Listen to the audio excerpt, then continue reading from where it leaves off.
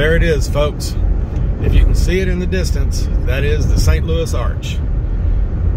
That is downtown St. Louis. I am not going to stop and go to the top of that thing for three reasons. Number one, uh, A, I'm in a hurry on a road trip. Two, I really don't like heights. And D, they might have a clown in that motherfucker. Oh, wait a minute. Uh, I might have just given away as much information as if I had doxed myself. Huh?